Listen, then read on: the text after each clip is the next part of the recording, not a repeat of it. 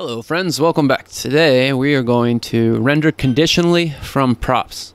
Uh, so far you've seen how to use if else and null and the ternary operation uh, condition if uh, expression if true and expression if false to make conditional decisions about what to render and when. However, there's one important topic left to discuss that lets you combine any or all of these components with another powerful React feature, props. Using props to conditionally render code is very common with React developers. That is, they use the value of a given prop to automatically make decisions about what to render. In this challenge, You'll set up a, ch a, child component to make rendering decisions based on props. You'll also use the ternary operator, but you can see how several of the of the other concepts that were covered in the last few challenges might be just as useful in this context. Okay, cool. So I'm going to just spread this out so it's really easy to see. Um, and we'll start from here. Okay, so the code editor has two components that are partially defined for you a parent called game of chance. Okay, a parent function called game of chance. That's this guy. And a child called results. And then this other one is called child. I think that we can tell child components because they have super and props, but they don't have state in them. Actually, the way that we tell that is where they're nested. Okay, so first you'll need a simple expression that randomly returns a different value every time it is run. You can use math.random. This method returns a value between 0 and 1 each time it is called. So for 50-50 odds, use math.random is greater than or equal to 0.5 in your expression. Statistically speaking, this expression will return true 50% of the time and false the other 50% of the time. So yeah, I mean, just to go into quick depth here, I'm just pulling up the console. If we go math.random, and we put this in here, it gives us a number of 0.29. If we go again, it'll give us a different number. Okay, and so if we say it's greater than or equal to 5, this will give us a true or false randomly. True, true, false, false. This is like a coin coin toss.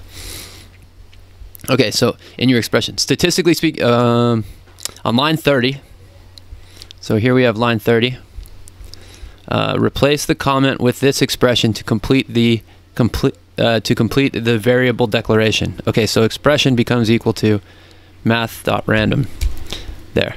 And so I think if we were to do, throw a constant here like this, um, expression is such a weird word to use. False, false, false. Okay, so it's being saved as that, so this doesn't work. But each time that we, we run the render thing, our expression is going to be different. And so that's how that works. Um, now you have an expression that you can use to make a randomized decision in the code. Next, you need to implement this.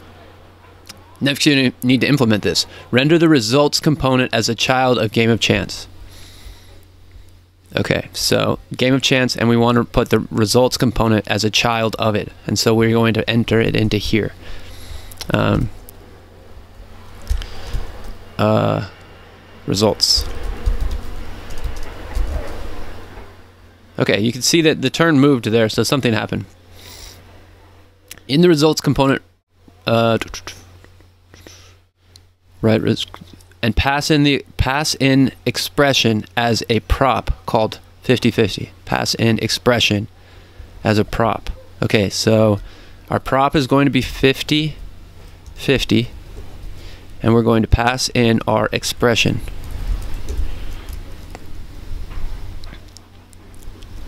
Okay, and so now we're passing in the results, and in the results we should have access to a prop which is called 50 uh, 50.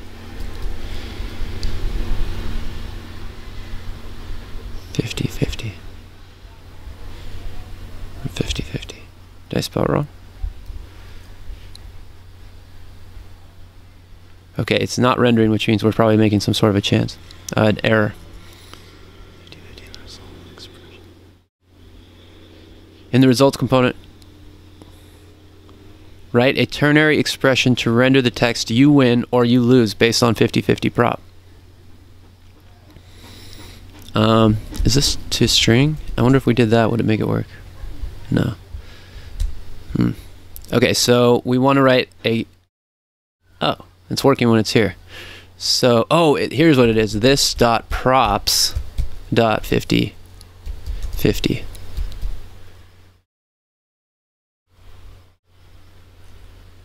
Okay, so right now, this dot props dot 50 50. So what we're saying is because we're passing 50 50 the expression and the expression is being rendered out as either true or false, we need to make a ternary operator, right? So if 50 50 is equal to uh, true, then let's render uh, you win. And then, oh wait, we want to have this be a question mark because that's the way that it's structured. Otherwise, we want to say you lose.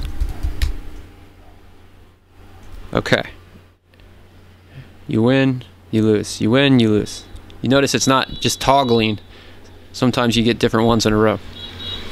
Um, this turn thing's not working. So, but this this does seem to be working. So finally, make sure the handle click method is correctly counting each turn, so the user knows how many times they played. This also serves to let the user know the component has actually updated in case they win or lose twice in a row. Okay, got it. So yeah, here what we're saying is on click, we're saying this dot handle click. Handle click is binded to the game of chance component. So therefore we have access to it via this guy. And what we want to do is set the state in which the counter grows with each uh, time that handle click is called. So counter is going to be equal to uh, this dot state dot counter, right? So this dot state dot counter plus one. And now when we add when we click here, you lose, you lose, but it's showing us that we're playing again. So yeah, I think that this is going to be what they're looking for. And the tests take a long time in React. All right, and so that's correct. Um, I'm not sure if I could go over this in any greater detail because I think the way that I went through it is was slow enough. Uh, if you guys think that I should be doing this differently, if I should go back over it like I have been in the past, but um, I'm just going to say it again. Okay, so we've got a game of chance component, and it, we're setting a state within it. Within it, we're also saying that we have got a handle click function, which is this handle click function. And then we're rendering, and when we render, each time we are coming up with a constant where the expression is set to a true or false value that's based on math.rand was greater than or equal to 5. And so if you see, if we run this into a console, you're going to see that it's rendering out true, true, true, false. It's rendering out a random selection of true or false. It's basically flipping a coin. And so then we're returning, after we set the expression equal to something new each time we render, we're returning a single div which has a button which has which is connected to our handle click um, function. And all our handle click does is set the every time that we click it, it sets the state where the counter we add one to the counter.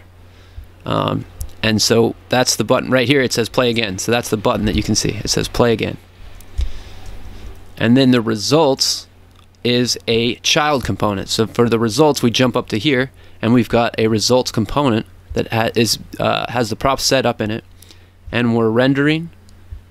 When we render, we call the return function so that we pass in an h1 element with this dot props dot 50 50. And if it's true, we say you win, and if it's false, we say you lose. It doesn't matter whether it's this one or um, uh, whether it's you lose and you win or you win, you lose, because it's a 50-50 thing, so it doesn't really matter. Um, Okay, cool. And so we render an H1 with the result, and we see that here.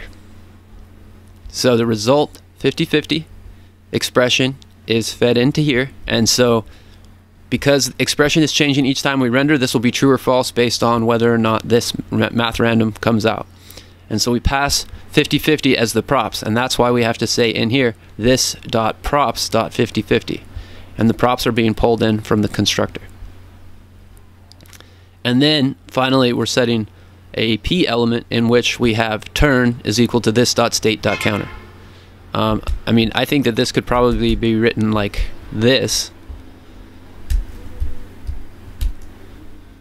Uh, equally as well because turn is equal to this dot state dot counter JSX actually does that um, Cool. Yeah, that works too. So that would just be me me refactoring this down and making it a little bit more simple. And uh, yeah, that's how this runs. Once we're at that point, everything just renders out and we're complete with the program. Uh, thank you guys for watching. Hope you enjoyed this one, and we'll see you in the next lesson.